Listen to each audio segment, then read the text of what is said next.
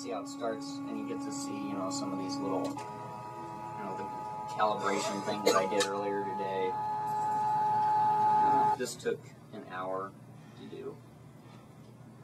Like, like the good ones, like the real expensive ones. They'll still take a while. I, but they make like theirs, like they make like it like straight to the the way you should make it. Uh, let me see if I've got some lying around here, because when I was at RISD, I used their 3D printer quite a bit to uh, create game pieces for my work. So these were done on a higher quality machine, but you can still see they, they still have striations just like that one does.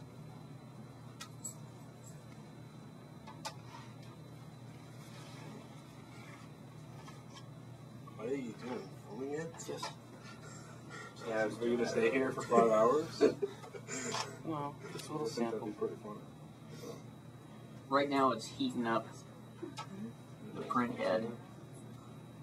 Uh, it's got to get to 220 degrees Celsius to be able to melt the plastic that it uses. So when it gets up to temperature, you don't want your hands anywhere near the the print head, right? Uh, and the build platform itself is also heated, so that, that prevents the piece from becoming brittle and breaking during the rest of the process. Uh, but even though you're all in very different media, right, web and video and graphic design, we're all designers. We're trying to come up with solutions to problems, right? Uh, so that problem can be a flat piece of paper that you have to design for, or a television screen that you're solving a problem for visually, right? Or you're solving a problem that needs to be solved in 3D. Three X. Uh, so whether you're any one of these that you're studying for, you're still studying to solve problems.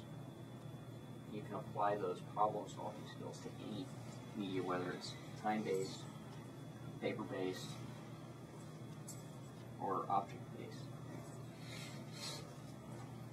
Of course, the heating of those things takes some time.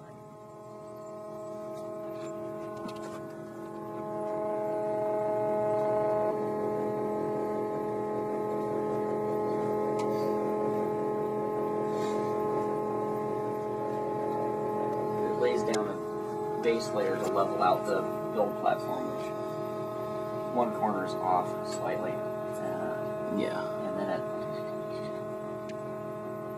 goes to town. I'm thinking the square thing. Right? Instead, you just take a bunch of this with you to space. You need something. You just print it Yes, out. I don't really think they could have waited five hours for it to print. Well, there's there's a speed issue with it, yes. But you know, as this stuff gets faster and In, more, sp- in space Not really, not really. Yeah, but if it's like